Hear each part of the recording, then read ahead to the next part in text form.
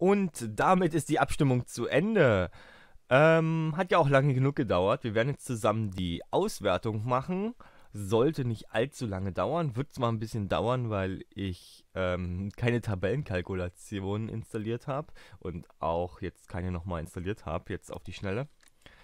Ähm, normalerweise brauche ich nämlich auch keine, deswegen ist das eigentlich auch Quatsch für mich. Ähm, deswegen werden wir das ein bisschen anders machen. ein bisschen länger wird es dauern, aber es ist nicht schlimm. So, fangen wir an mit den Bewertungen von Satak Tiral. Satak Tiral, keine Ahnung. Ich hoffe, ich spreche das richtig aus. Hallo Satak Tiral. Habe ich eigentlich schon Spaß beiseite gesagt? Egal, Spaß beiseite. okay, Satak Tiral. Ähm, danke fürs Bewerten. Und ja, fangen wir an. Also als erstes eine 1 für Pegismo. Dann eine 3 für Calastelio. Hm, stopp, eine Zeile höher. So. Ähm, Input 4. Ähm, Johnnybot Herz 6. Oh. So, jetzt. Nein. Jetzt. Okay. Johnnybot 6. Evermore 8. Ähm, Pixelwald 10. Okay, damit haben wir alle. Genau, und weiter geht's. Zum nächsten. Fail Forever. Danke fürs Bewerten. Und ich freue mich, das ist schon das zweite Event, wo du mitmachst. Ähm, ist cool, dich mal wieder zu lesen. Ähm, zeigt mir auch, dass du Interesse hast. Das freut mich immer. Das macht mich glücklich irgendwo ein bisschen. So, ähm, Pegistmo, altes Profilbild. Da unten. Eine 4. Ähm, als nächstes Herzlogo eine 2. Evermore eine 5. Pixelwald eine 8. Okay, 10 und 8. 18, das ist schon ziemlich viel. Egal. Calastelio Input 6. Und Calastelio Arme ist auch eine 8. Schön. Gut, dann kommen wir zum Mr. Drachenteufel. Ähm, hallo Mr. Drachenteufel, auch wieder schön von dir zu hören. Ähm, gut, fangen wir mit deinen Bewertungen an. Auf Platz 6 ist Johnny Bots Herz mit 1. Äh, äh, äh, wo haben wir es da? 1. Pegismo als Profilbild 2. Calastelio Arme 5. Calastelio Input 8. Falls ich hier irgendeinen Fehler mache und ihr das bemerkt, könnt ihr das gerne in die Kommentare schreiben. Habe ich jetzt Evermore übersehen? Nein. Der kommt noch, oder? Nein. Arme. Ach so, hier geht's weiter. Entschuldigung. Ja, der kommt noch. So, ich habe mich gerade, aber ich hätte auch noch äh, Mimi übersehen. Ups, da war ich auch falsch. Ich hätte Mimi auch übersehen. Ich, ich dachte gerade, hä, da fehlt doch was. Aber es hätten ja sogar zwei gefehlt. So, alles klar. Und Mimis Pixelwald einen neuen. Sehr schön. Damit geht der Siegeszug von Mimi weiter. Aber noch steht nichts fest. Aber es sieht sehr gut aus für Mimi, das muss ich ehrlich zugeben. So, Carla Stelio Input, eine 4 von Quajuzzi. Hallo Quajuzzi! Dich kenne ich natürlich auch schon. Ähm, sei gegrüßt. Und freut mich, dass du auch mitmachst und dir die Mühe gibst und den schönen langen Text geschrieben hast. Hab mir das natürlich alles durchgelesen. Ähm, und eigentlich ist mir jetzt keine extreme Auffälligkeit, also ist mir jetzt nichts wirklich aufgefallen. Also es gab keine extremen Auffälligkeiten. So, also er hat es auch in der Reihenfolge gemacht, wie ich es im Video angesagt habe. Eigentlich war das auch so gedacht, weil dann muss ich nicht ständig, oh, habe ich da was vergessen und so. Eigentlich war das so gedacht, weil dann überträgt sich das nämlich für mich auch schneller. Wie ihr seht, geht das jetzt nämlich deutlich schneller. 6, 9, ich hatte das nämlich auch im Video gesagt, ihr sollt da meine Reihenfolge verwenden, aber manche haben dann einfach ähm, als Reihenfolge halt eine Platzierung gemacht. Ist vielleicht für ähm, euch dann besser gewesen, egal. egal. Okay, Calastellio Input. 4, achso, Itai, hallo Itai. Ähm, deine Bewertungen kommen jetzt. Schön, dass du mitgemacht hast. Ähm, ich finde es allgemein schön, dass ihr alle mitmacht. Und Itai, ähm, dich sehe ich immer mal wieder. Und freut mich, dass du ähm, dich so aktiv auch hier beteiligst auf meinem Kanal. Im Allgemeinen und auch bei dieser Aktion. So, scheinbar auch meine Reihenfolge. Ach, sehr gut. Das macht sie natürlich sehr schön. Das geht natürlich ein bisschen schneller dann. Das zu übertragen. 2 Pixelwald 6. Oh, da geht es schon langsam nach unten. Von 10, 8, 9, 7, 6. Sag mal, haben die sich abgesprochen? Stimmt das? Wartet. Ich muss mal gucken. 7. Ich muss jetzt nochmal überprüfen, ob das auch alles stimmt, was ich hier eingebe. Weil irgendwie, das wäre schon ein komischer Zufall. Ach so, Mensch, hier, die 8 und 9 sind ja eh vertauscht. Mensch, ach, hier. Mensch, ich mache mich hier wieder zum Löffel. Also ist nichts Außergewöhnliches für mich. Ähm, okay, 7 bei Pegismo. Das kam mir gerade ein bisschen Spanisch vor, aber die 8 und 9 sind eh vertauscht. Okay, gut. Kommen wir zum nächsten und auch zum letzten. Loveless Tier hatte dann einen kleinen Fehler, deswegen ähm, kann ich seine Bewertung nicht mitnehmen.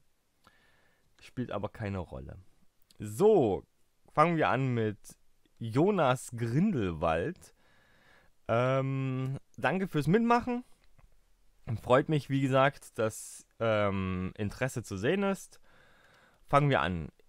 Calastellio Input 5. Ach, auch wieder die schöne Reihenfolge. Das ist sehr schön. Das geht dann alles für mich ein bisschen schneller. Extraordinary 3. Johnny Herz 8. Und Pixelwald 7. Pegistmo eine 1. So, das waren alle. Und dann würde ich sagen, rechnen wir mal kurz zusammen. Ihr habt sicherlich aufgepasst, ob ich Fehler gemacht habe und könnt das dann in den Kommentaren gerne nochmal schreiben. Dann würde ich das natürlich korrigieren. Ähm, ich bin ja hier kein Unmensch oder so. Na ne, passt nicht mehr drauf. Machen wir es so. So. Und fang an, zusammenzurechnen. Ähm, vom Prinzip her muss ich ganz ehrlich sagen, an der Stelle bräuchte ich eigentlich nicht mehr zusammenrechnen. Das wäre total easy. Ich muss ganz ehrlich sagen, Mimi Pixelwald hat gewonnen. Das ist eigentlich ziemlich eindeutig. 10, 8, 9, 7, 6 und 7. Da geht nichts unter 6 und eigentlich vom Prinzip her im Schnitt ist es irgendwo bei 8 oder 7. also ohne Witz, das ist also irgendwo dazwischen, denke ich mal. Und, und da kann einfach keiner mithalten. Das ist einfach hier Calastellio. aber ist egal, wir rechnen jetzt zusammen. Und dann sehen wir das ja nochmal genauer, wie groß der Abstand eigentlich ist. So, fangen wir an mit Calastellio Input. 4 plus 6 plus 8 plus 4 plus 4 plus 5 ist gleich 31. 3, 1. Calastellio Arme. 3 plus 8 plus 5 plus 5 plus 8 plus 6, 35. Nächstes. Ähm. Ups. Na, Mensch, was mache ich denn? 8 plus 5 plus 8 plus 6 plus 3 plus 3. Hat auch gut angefangen eigentlich hier mit 8, 5, 8, 6, aber dann die letzten dreien, die haben die ja dann doch ganz schön viele Punkte gekostet. Evermore, das tut mir sehr leid. Bei Johnny Bot ist es sehr durchwachsen, ist mir aufgefallen sehr kontrovers, das Ganze. Wenn man es so ausdrücken möchte. 6 plus 2 plus 1. Nicht 7, 1, Mensch. 1 plus 9 plus 2 plus 8 sind 28. Habe ich das jetzt auch richtig eingegeben? Ähm, 6, 2, 1, 9, 2, 8. Ja, alles klar, 28. Gut, ja, also hier ist eine 9 dabei und eine 8 dabei und da war er dann auch jeweils der Beste.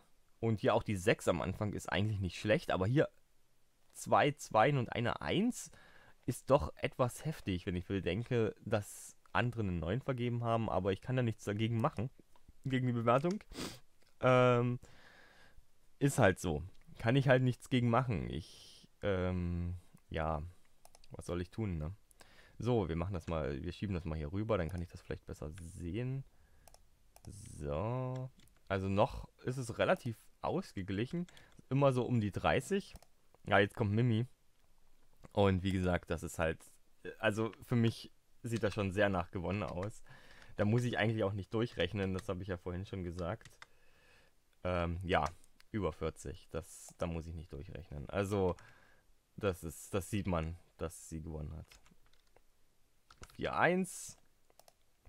Sie hat sich auch sehr viel Mühe gegeben, das muss man halt wirklich sagen. Und Pegismo als letztes macht nicht viel Sinn, aber ähm, egal, der Vollständigkeit halber. 1 plus 4 plus 2 plus 5 plus 7 plus 1. Fertig. 20 Stück.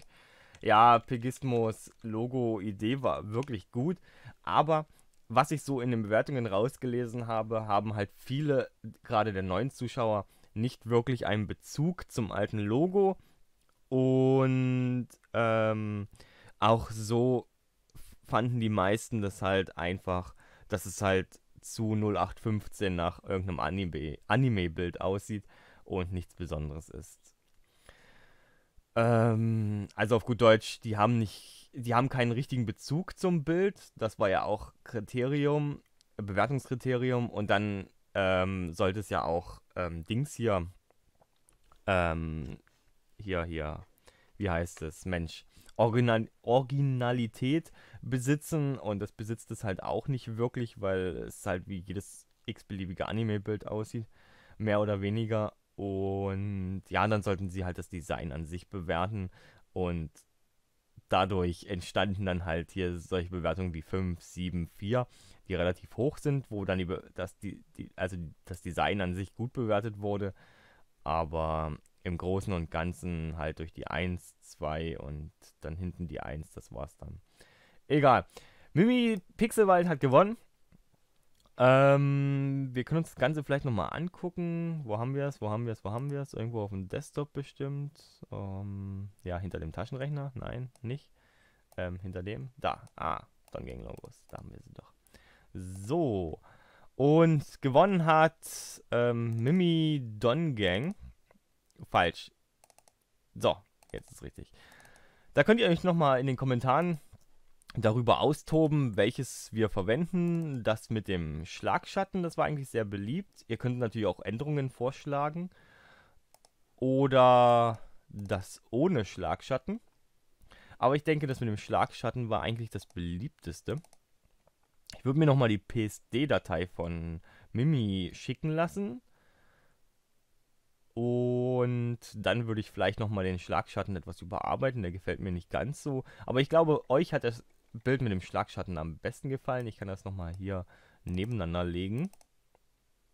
So. Auf jeden Fall sind das die Gewinner. Bilders. Ähm, der Pixelwald. Finde ich sehr schön. Gefällt mir. Danke ähm, für dieses wunderschöne Bild und auch an alle anderen. Ähm, ja, drückt einfach mal kurz Pause, überlegt kurz und dann geht's weiter mit meinem Video. Überlegt kurz, welches euch besser gefällt. Und wie gesagt, ihr könnt auch noch Änderungsvorschläge bringen. Egal, wir machen jetzt weiter. Und kommen weiter im Text.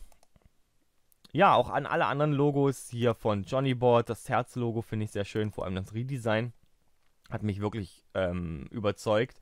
Das gefällt mir wirklich. Das Originaldesign fand ich jetzt nicht so schön, aber das Redesign fand ich dann sehr, sehr, sehr gut. Schade, dass du das nicht direkt am Anfang schon eingereicht hattest, aber ich finde es wirklich sehr gut hier. Natürlich, die, es gibt einen kleinen Grafikbug hier und auch hier das Herz, das wirkt nicht ganz sauber ausgeschnitten, finde ich. Irgendwie, irgendwo ist da eine helle Linie außen, finde ich, sieht komisch aus.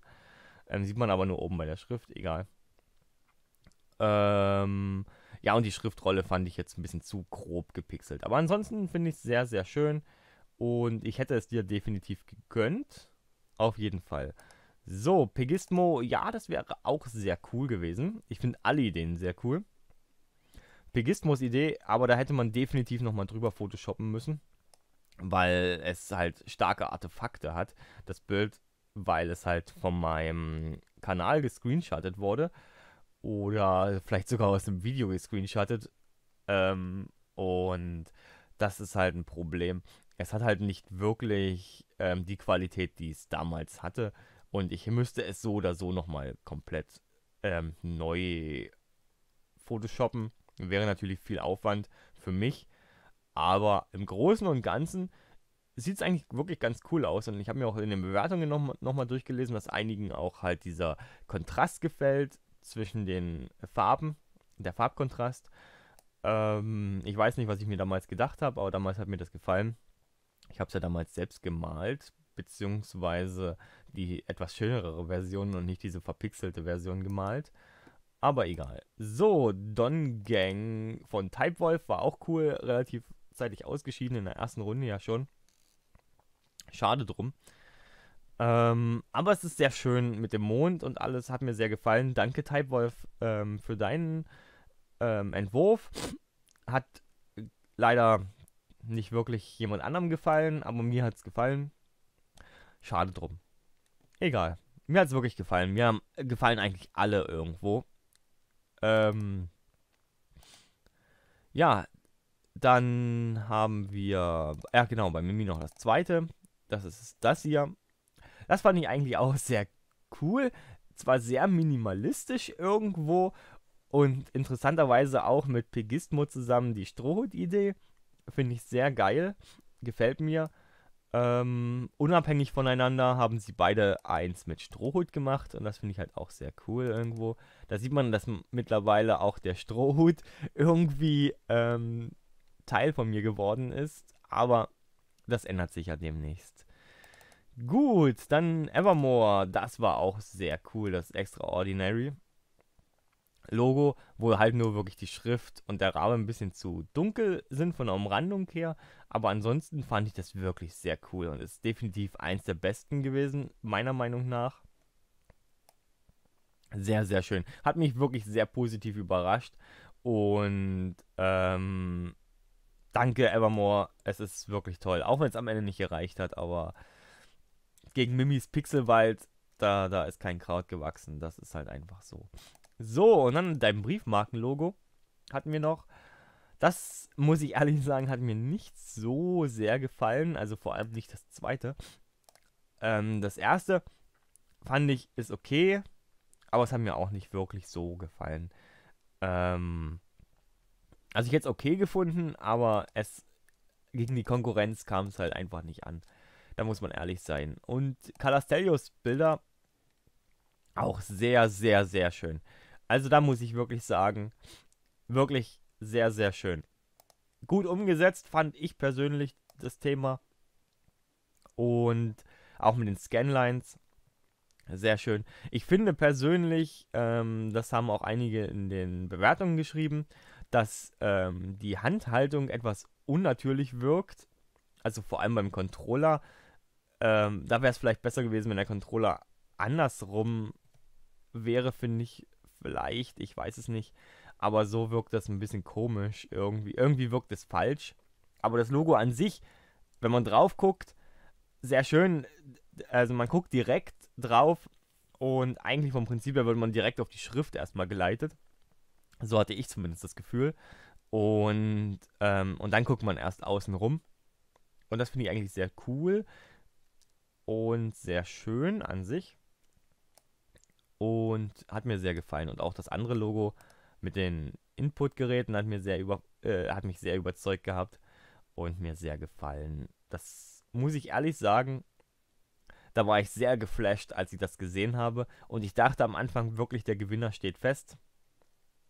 Aber es kam noch Mimi mit ihrem Pixelwald.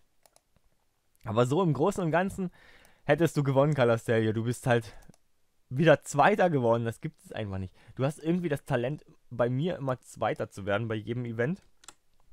Ich weiß nicht, woran es liegt. Calastelio, es tut mir sehr leid. 35 gegen 41, aber es ist egal. Ähm, gut. Dann kann ich nochmal abschließend sagen, welches mir am besten gefallen hat. Mir persönlich hat am besten gefallen tatsächlich das hier. Muss ich ehrlich sagen, es tut mir leid, äh, Mimi.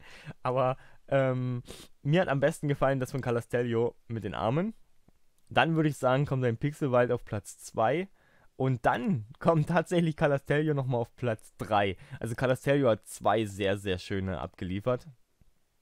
Und dann wird es bei mir schon schwierig. Ähm, ich finde eigentlich alle sehr gut. Und ich möchte jetzt auch nicht weiter bewerten, denke ich mal. Aber die drei war, fand ich wirklich am besten mit. Also wirklich, also die fand ich wirklich mit am besten. Und, aber auch Johnny Bots Herzlogo fand ich sehr, sehr schön. Das Profilbild, das alte, fand ich nicht schlecht. Und auch den Mond fand ich nicht schlecht. Ich fand alles wirklich sehr gut. Außer vielleicht die Briefmarke von Evermore, die fand ich nicht so pralle, muss ich ehrlich sagen. Ich fand die just okay. Gut, das war's soweit von mir. Mimi hat gewonnen. Und wir haben unseren Pixelwald, so wie ich es genannt habe. Ähm, es ist cool, definitiv, gefällt mir. Es ist auf jeden Fall interessant gepixelt, weil die Pixel ähm, nicht ganz gleich groß sind.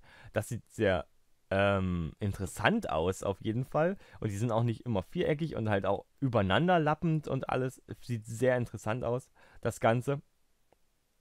Vielleicht sieht man das in klein nicht ganz so gut, aber in groß sieht man das auf jeden Fall, dass das so ein eigenwilliger Pixelstil ist. In klein sieht das ein bisschen gleichmäßiger aus, aber in groß sieht man doch, dass das äh, relativ eigenwillig ist und sieht wirklich sehr schön aus.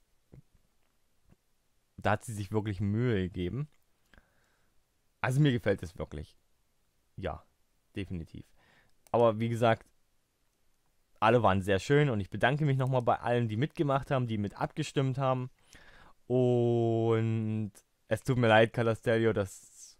Also ohne Witz, wenn es nach mir gegangen wäre und ähm, vom Prinzip hätte ich auch sagen können, es geht nach mir, aber nein, das wollte ich nicht. Ähm, wenn es nach mir gegangen wäre, wärst du Platz 1 und Mimi Platz 2.